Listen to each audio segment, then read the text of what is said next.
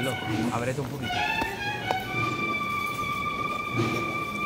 Ahí está, perfecto, Carlos.